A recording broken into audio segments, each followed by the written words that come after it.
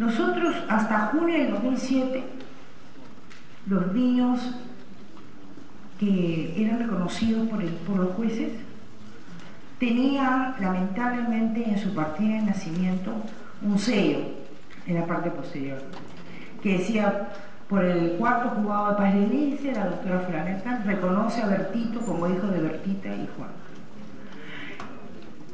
Y esto para mí personalmente era una tortura.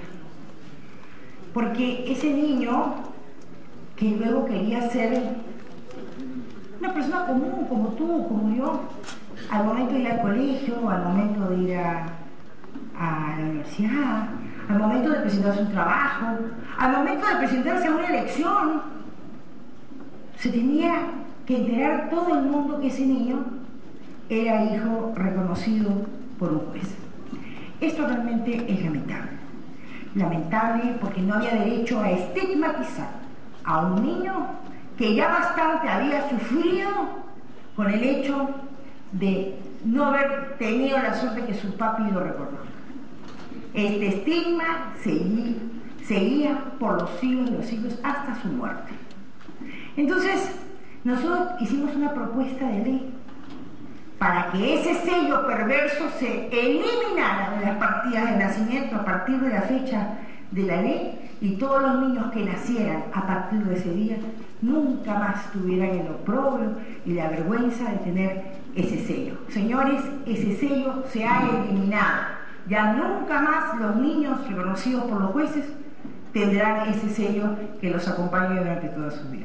Me parece que es una cosa muy sencilla que el Congreso su, este, aceptó mi propuesta y yo particularmente me siento muy bien con haber aportado eso a ustedes y a Perú entero.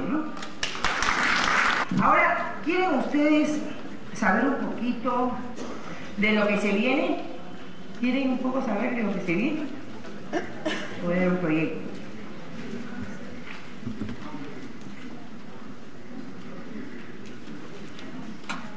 No, no, no, no, no. No, ese, no, ya se han dedicado a... Miren, ahora voy a decir.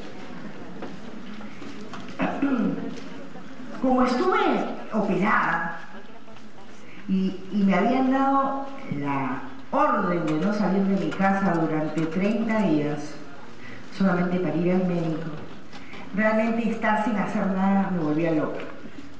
Entonces me senté a preparar y he preparado dos proyectos de ley. O sea que yo bendigo realmente esta operación porque me ha permitido a mí tener la posibilidad de hacer estos, estas dos leyes que pongo a su disposición. Uno, es el tema de la impugnación de paternidad. Ahorita les explico, ¿ya? Esta es una relación de dos personas. Están casados, están casados y él, bueno, viaja a Trujillo, viaja acá. Y ella se queda aquí. Y entonces, un día, ¿no? Ella se queda aquí. Y un día Oye, le dice, estoy embarazada. ¿Estoy embarazada? Y entonces este hombre es este crepito, ¿sí no? Entonces el chiquito que nace, nace chinito. ¿No? Entonces el papá lo mira, ¿no? O está de viaje. Está de viaje, regresa y bueno, nació chinito. Entonces él se mira el espejo, mira el hijo. Pero el niño tiene seis meses porque él se ha ido de viaje. Entonces la ley dice que los hombres pueden impugnar la paternidad de niño siempre y cuando sea, sea de entre los 90 días de conocida o de, conocido, de conocida la causa o 90 días de haberse producido el parto en consecuencia. En consecuencia, ¿por qué se dio esta ley? Este código del año 1900, 36, modificado después en 1984. Muy bien, ¿no? Pero estas cosas vienen pues de España, ¿no? De, de ese código romano, de esa... Y entonces no había ADN, pues, no había ADN. Y entonces había que darle seguridad jurídica a todo. Tenías plazo de 90 días, y ya no reclamaban, los varones tenían que endilgarse ese hijo, así fuera chinito. Y cuando le querían decir, ¿qué cosa quieres que tener una bodega, papá? Ese hijo no es mi hijo. Entonces, esta, esta, yo quisiera, si ustedes me permiten, leerles la exposición que he preparado. Dice así, ley que establece la imprescriptibilidad del derecho a impugnar la paternidad y maternidad. Lo que yo estoy proponiendo es que no haya 90 días, sino que ahora que existe el ADN, cualquier varón pueda impugnar la paternidad presentando el ADN y que, el, y que el hijo, el, el verdadero padre biológico, pueda tener acceso a ser padre.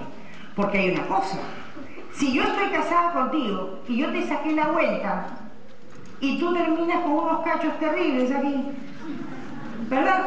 Y tenemos un hijo y pasan 90 días, tú ya no puedes impugnar la paternidad. Pero quien realmente es el papá que es él, porque usted no podrá negar que es su hijo, ¿ah?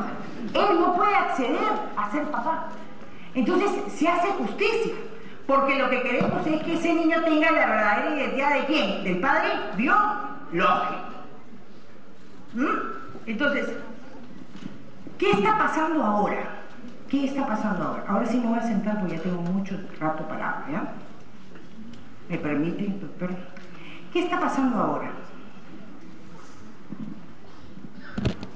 Está pasando que las, las, las partes están yendo a los jueces y están pidiendo que se,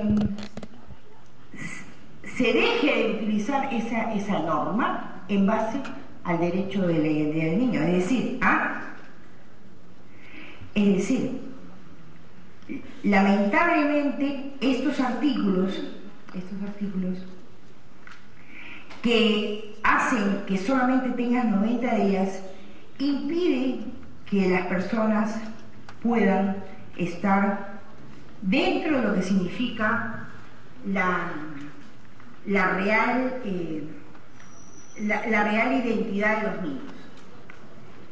El plazo que les toma a los ciudadanos y ciudadanas tramitar ante el Poder Judicial la inaplicación de una norma para obtener tutela jurisdiccional efectiva y en los casos de impugnación paternidad son más o menos dos años. O sea, para que esa norma se deje de aplicar, esos los 90 días tienen que recurrir a los jueces y decir, señor, por favor, no aplique esa norma.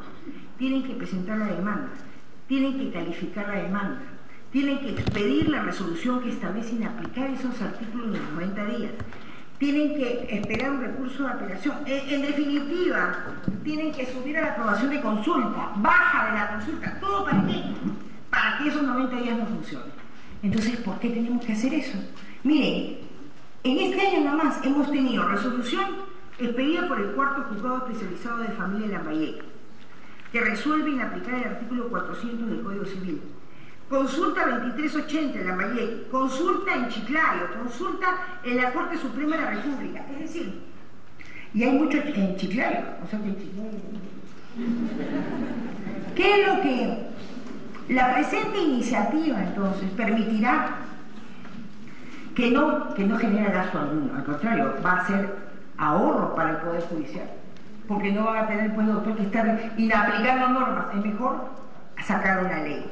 Entonces, consideramos que efectivamente genera costo para los ciudadanos determinar una incertidumbre jurídica, como es el caso de la determinación de la paternidad, plantea acudir al Poder Judicial para iniciar un proceso.